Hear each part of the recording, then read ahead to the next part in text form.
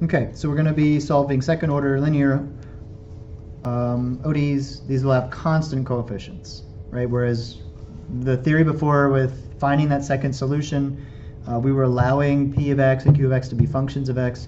Here, no functions of x at all, right? Except for the y and its derivatives. So this only work when you have constant coefficients. Uh, think about what's saying. It's saying that you have a function and its derivative and its second derivative, and then by adding multiples of those together, you get zero. In order for that to make sense, you would need the function and its derivatives to all be more or less the same. But what function does this occur? The exponential function, right? So since e to the x has that cool property where its derivatives are pretty much the same as it, except for multiples, um, we're going to say, well, what if it's exponential? And now we're going to put a constant up here called gamma, and we're going to try to figure out what that is. Because depending on what these coefficients are, that gamma could be a different number. How does gamma look like again?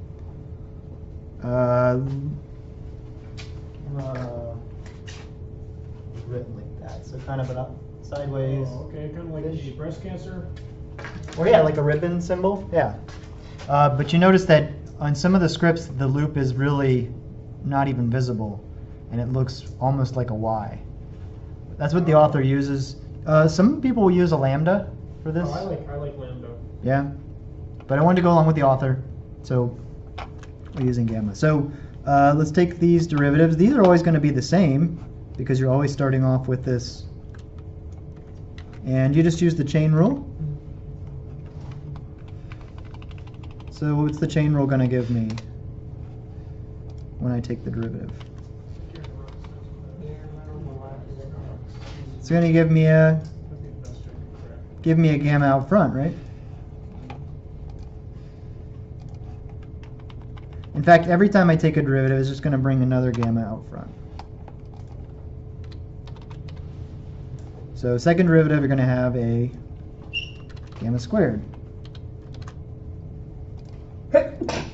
And third derivative will give you a gamma cube, but we don't need a third derivative. Right. And again, these first two steps will end up not being necessary once you do this enough times. You'll be able to shortcut right to the characteristic equation that we're going to get. Uh, but let's go ahead and substitute these in for now. Here's our differential equation. This class kills trees, man.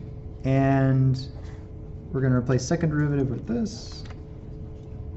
Well, you all could be typing instead of writing on paper.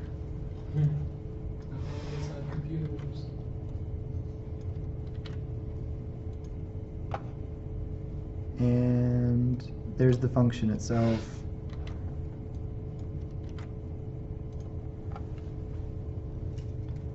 All right, now we're going to solve for gamma. Notice that we can actually factor off the exponential because the exponential is always going to appear for any value of gamma in all three of these terms.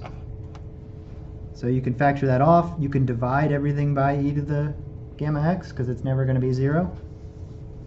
So what's going to be left? 6 gamma squared Hey, can I just use lambda? Is that cool? on your paper, yeah. Because it looks like I'm writing a Y. We'll make it more like that. Okay. Make the Y have code. I mean, some people just go to x.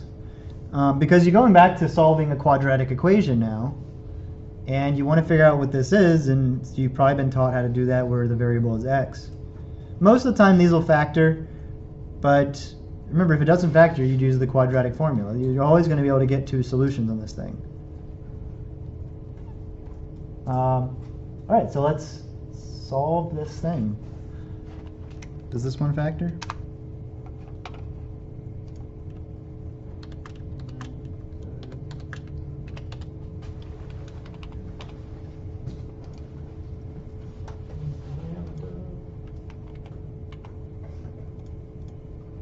You said lambda's just a constant?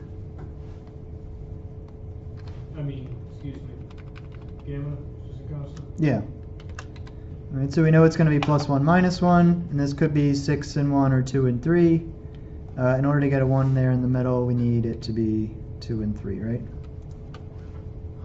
So that factors it? Right? Okay. So what is the two solutions? Uh, negative 1 half and positive 1 third, right? Oh, so we don't have to do quadratic for this one? You don't have to, but if you want more fun, then you can do it.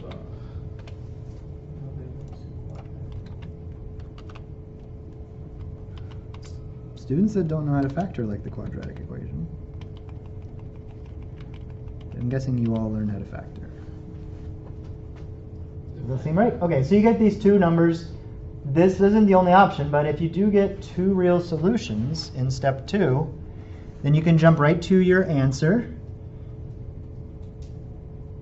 And uh, how would that look for this problem? Do you have like a button up there for your uh, gamma? Yeah. I have a gamma button. Oh, so how are you typing this so fast? For all the, least, uh, step two, one.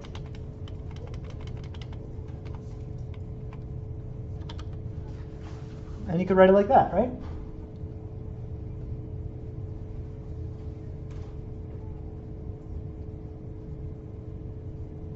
So you can check that those are linearly independent by dividing them and trying to fool around it to get a constant. Uh, it's not going to work because they are linearly independent. And that's it. So you can get the particular solution if you have initial conditions. We saw how that works with the previous methodology. Um, and I, maybe one of these examples will have that. But we got to do this two more times with two other examples because what happens if you get a repeated root and what happens if you get complex roots? So, ready to move on?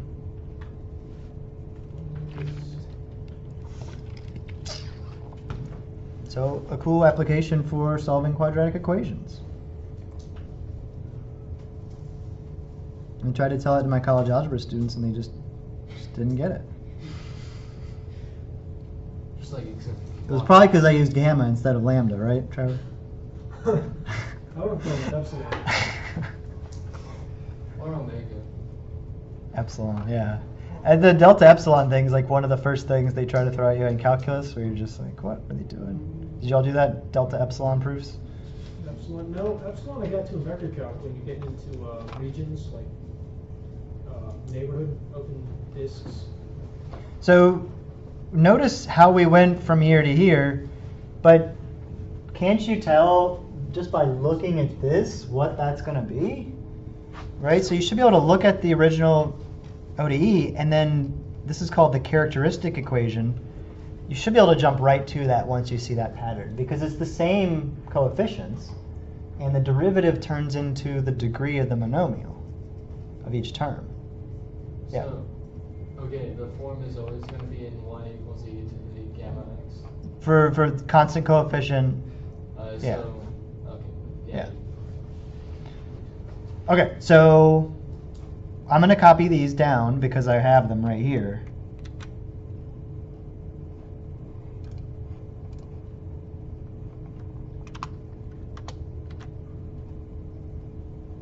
And our differential equation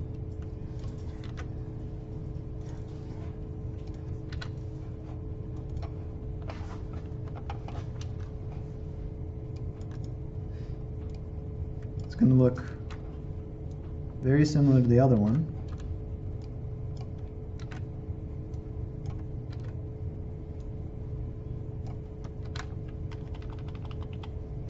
And since we can again always factor off that exponential, you're going to be able to get the characteristic that you might have been able to jump to right from the start.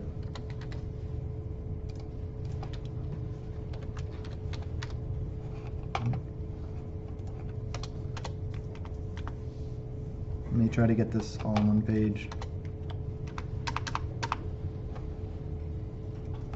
So yeah, again, compare the ODE with this quadratic equation. See how to jump right to it? Well, now, that, uh, is not a variable, it's a constant, so, right? Yeah, But I I mean, we're, it's not varying, it's, it's got fixed values, but it's an unknown. Thus, we use a variable, we use variables in two ways, right? As variables, as like literally things that are varying and changing, but also as just unknown numbers that we want to figure out what they are. We're actually treating it like an unknown when we do the. Right, there, it's a fixed, it's a fixed constant, we just don't know what it is. This one factors, it's actually a perfect square trinomial, right? You see the pattern? Um, so it's two gamma minus three times two gamma minus three. Ah. Sorry. I feel like a lambda does look more intimidating than the gamma. You mean less intimidating? You think lambda looks less intimidating? More intimidating. Okay. It's like a, you know, it's also used to denote like wavelength light or something. Right. So, I mean, I think it's pretty intimidating, but that's just me, right? Okay, so we're only going to get one gamma here. What's it happens? And what is it going to be? Three halves. Three halves.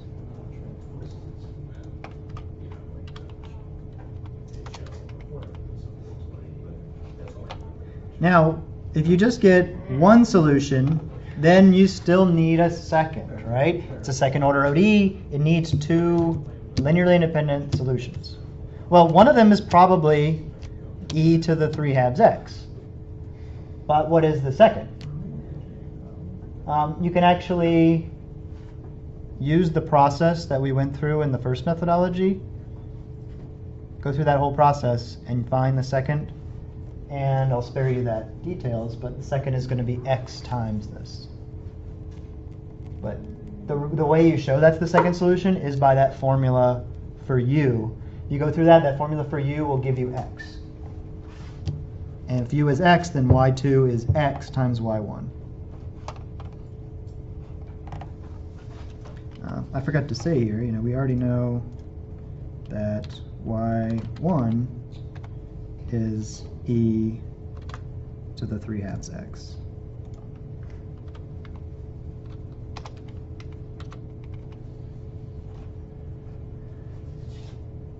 All right, so y2 is going to be x times e to the 3 halves x. Okay, so if they're two different numbers, you've got e to the one plus e to the other. If they're the same, you've got e to that number, and then you've got x times e to that number, right? So try to start remembering these patterns. All right, now that we have two, we can put them together and get the fundamental set of solutions. No, these aren't functions when we did this quadratic factoring, right? I mean, hold on. Um, no, the quadratic factoring, that's just for gamma, which just ends up being a constant. Okay, yeah, okay.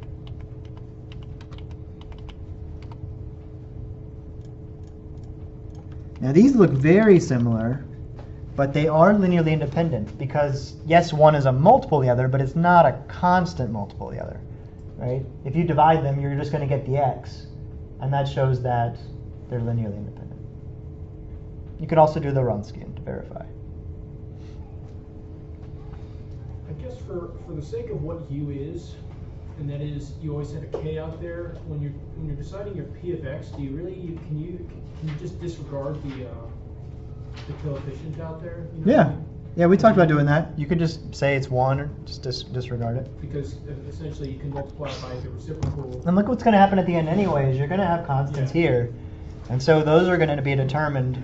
And in the end, you would get the same constant Yeah, out front. So- And until you get the initial conditions and get those constants, it doesn't really matter what you put out front. Okay, so we've seen two real numbers. We've seen them both be the same. right? The last case, which when you're doing real numbers, is that there are no real solutions. They're actually a pair of complex conjugates, right?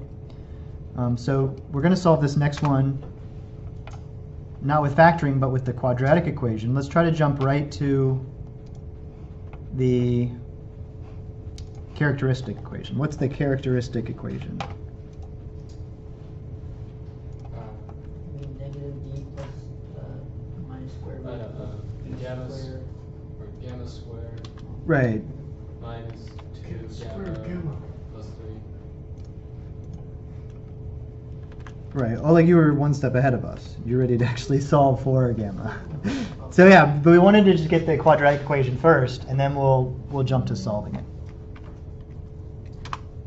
All right. So there's not going to factor because there aren't two numbers that multiply to three and add to negative two. Uh, not two real numbers, right? So um, in this case, if it doesn't factor, uh, use the quadratic formula. It might still lead to two real numbers, but they're probably irrational so you wouldn't be able to factor and get them. Uh, or it might lead to this other case. So we need a big fraction, and we need uh, minus b. Plus or minus square root. B squared minus 4ac all over 2a.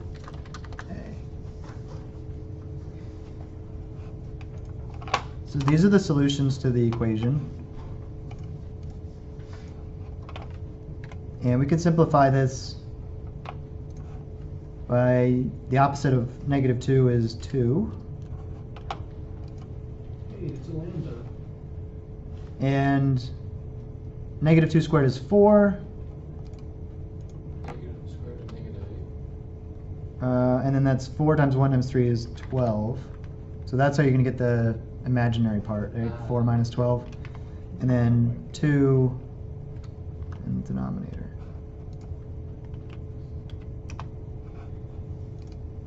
So you want to get this in the separate a plus bi form. So you really need to separate the real parts from the imaginary parts. Um, so you can think of splitting up the fraction. It's 2 over 2 plus or minus square root of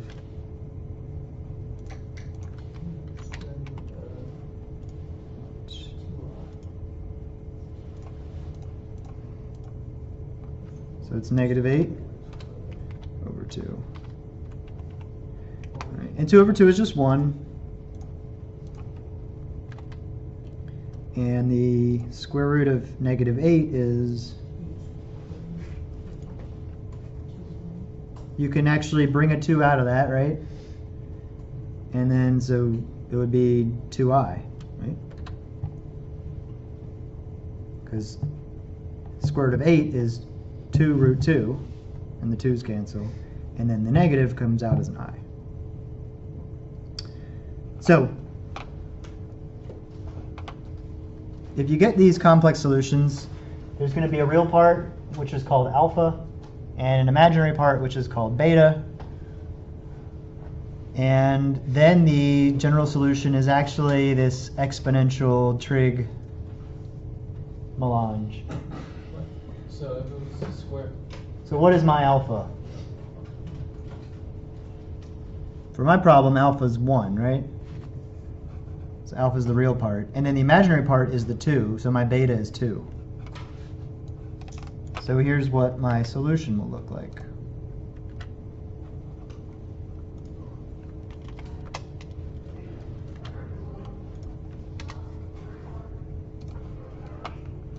Alpha is 1, so we get rid of that.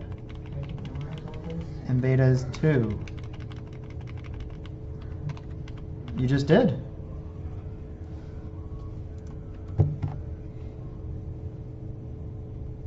So if you get the alpha plus beta, it's e to the alpha x, and then cosine beta x plus sine beta x. Right? And the constants go on the inside. You could actually separate it. If you distributed, you would see what y1 and y2 are. Right? They both have the exponential.